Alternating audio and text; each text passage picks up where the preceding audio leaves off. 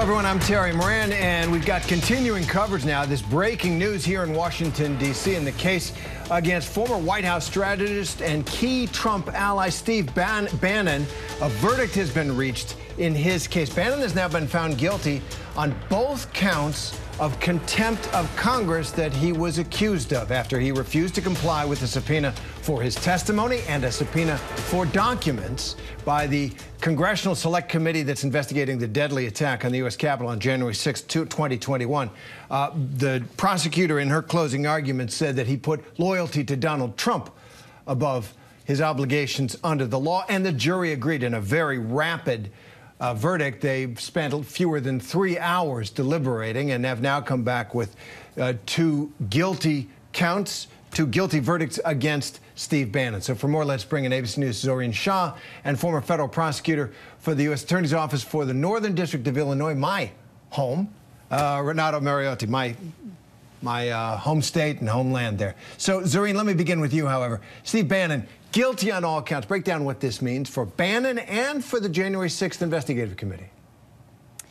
Yeah, so Terry, that first count is for failing to appear for a deposition in October of 2021, a maximum of one year behind bars. And count two also carries the same maximum uh, behind bars as well. Uh, and, and, you know, Bannon is, just, so you, just for a little background, he's a former top advisor to Donald Trump. He is seen as the mastermind to his rise in power. And that is why he is so important. That's why we're talking about him right now. The two charges are counts of criminal contempt because he refused to appear in front of the committee, in front of the January 6th committee, and it could also hold a maximum fi fine of up to $200,000. So the committee wanted to speak to him because they believed he had information that, that, in, that he was actively involved in planning, in the logistics, in the fundraising of Trump's effort to overturn the election. Bannon's lawyer, though, he says that the charges were politically motivated. He said there were good faith negotiations over the concerns with testifying.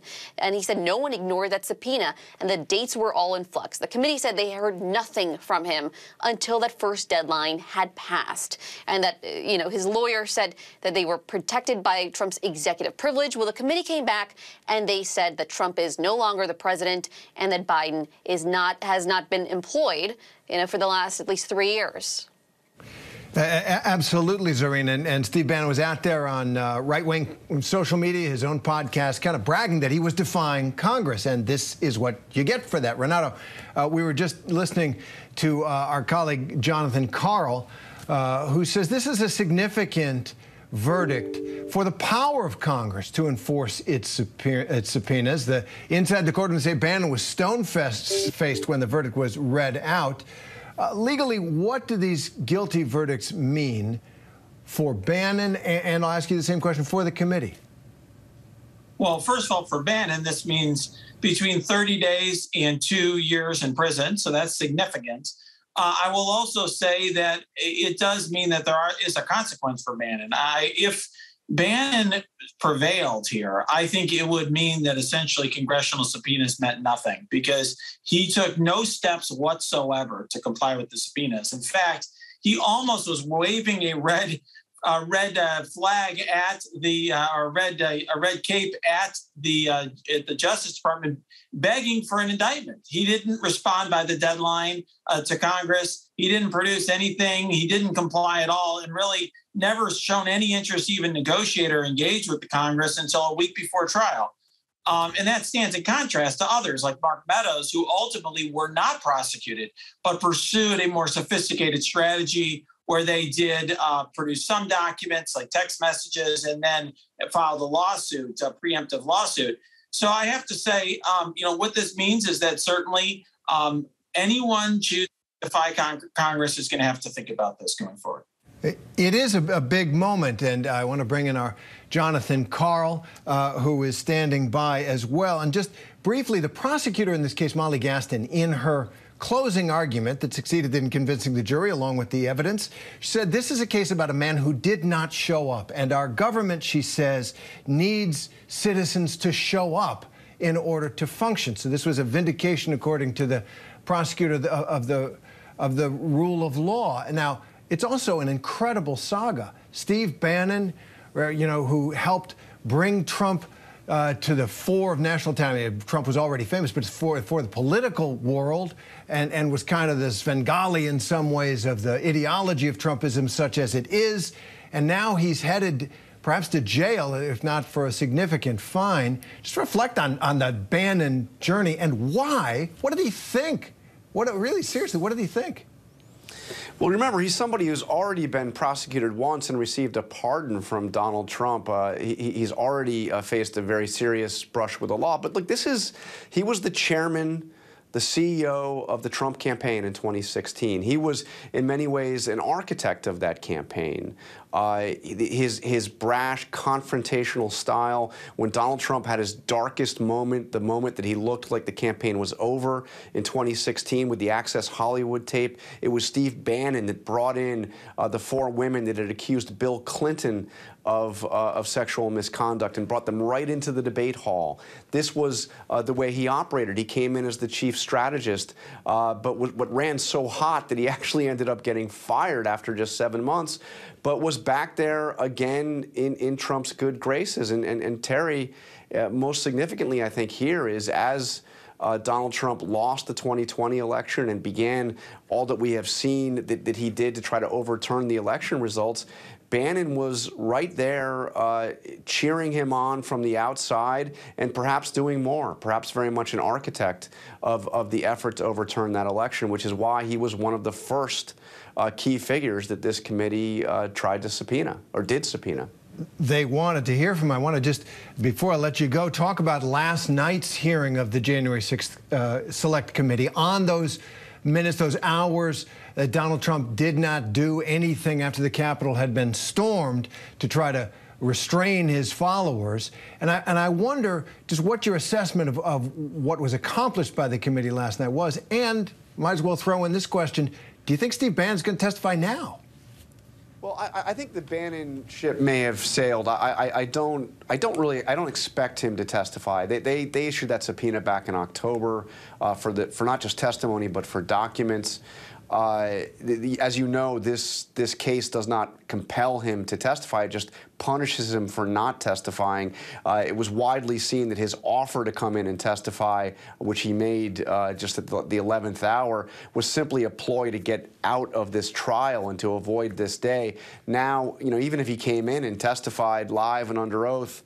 Uh, it wouldn't get him out of this. He's still guilty. Uh, so I actually don't expect him to testify. In terms of the hearing, uh, the, the hearing one of the more dramatic things that we saw and truly new things we saw were the outtakes of Donald Trump's video messages uh, from January 6th and more significantly from January 7th, where you saw the anger uh, as Donald Trump was basically bullied by his aides to come in and to condemn uh, the attack on the Capitol, uh, with his aides telling him that, that, if he didn't, he would be removed from office, either through impeachment or by his cabinet declaring him unfit under the under the 25th Amendment.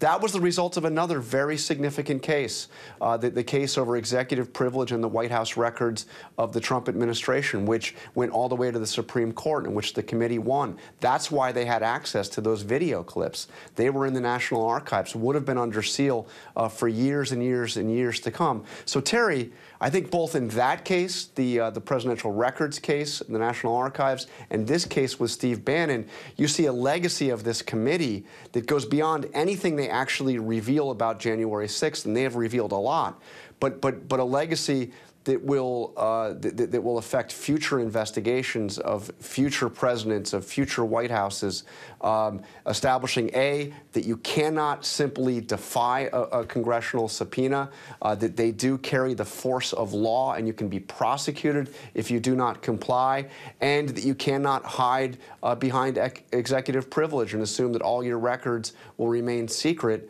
uh, if there is a compelling interest uh, for those records to be seen. Especially if you've been out of the White House for three years and the guy who had the claim of privilege is out of the White House as well. But that's yes. a great point, Jonathan. Thank you very much. The way uh, these cases, this committee has boosted congressional uh, powers to investigate and oversight. The Democrats may live to regret that. Uh, as we know, the House and Senate change hands. Let me go to ABC News Chief Justice Correspondent Pierre Thomas. Pierre, the history of congressional subpoenas and people defying them, you need the U.S. Attorney to bring those charges, and sometimes they do and sometimes they don't. In this case, the Department of Justice decided that Steve Bannon uh, should be prosecuted for defying the January 6th committee and won the case. Terry, to the Justice Department, this was a very simple case in this sense. It believed that the Congressional Committee had a valid, legitimate subpoena and that Steve Bannon was required, obligated to respond to it, and when he did not, it was a crime. Now, in these cases, you have to have a number of things to align. You have to have a Congress willing to, you know, ask the Justice Department to bring criminal charges, and then you have to have a department that looks at what Congress wants to do and be willing to go forward with a prosecution. And I think in this case, as you mentioned, the bottom line here is that Steve Bannon at every turn basically said, talk to the palm.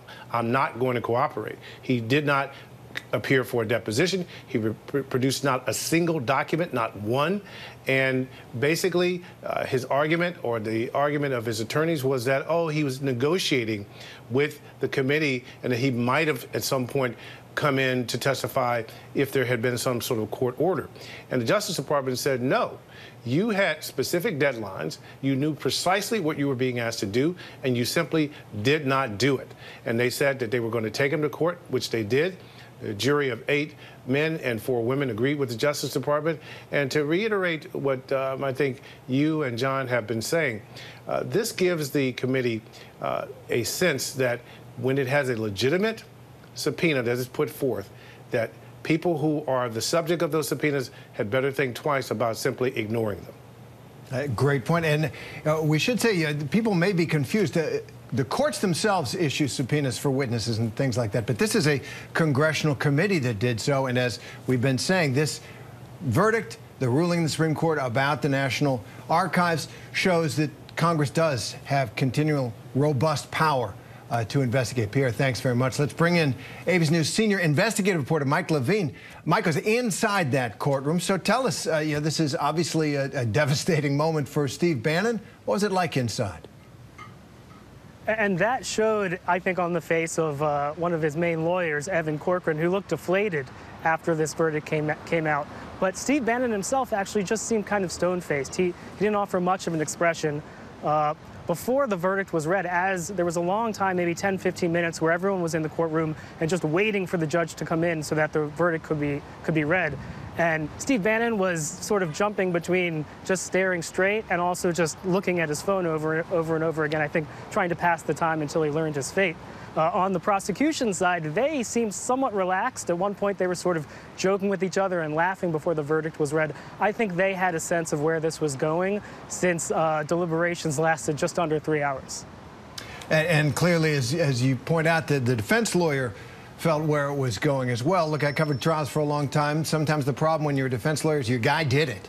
Uh, you know, it is it, it, Steve Bannon treated Congress with contempt right? But I wonder about what kind of defense you could raise, right? The, the judge did deny his opportunity to claim executive privilege or to say these were political, trumped up charges because it's a pretty simple case. They, they called you to testify and bring records, and you said no. Uh, but how did the defense try uh, to win this case, and why do you think it failed?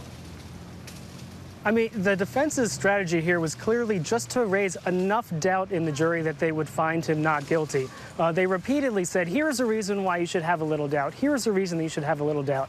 It was things such as uh, procedural things. They raised the possibility that maybe Chairman Benny Thompson, you know, the, the chairman of the January 6th committee, maybe he's not the one who actually signed the subpoena, that Benny Thompson's signature on the subpoena may not be real, and so therefore the whole thing is invalid. They tried to su suggest that that was a possibility, and because of that, they should have doubt that, that Steve Bannon actually had to respond to the subpoena. But clearly those strategies didn't work.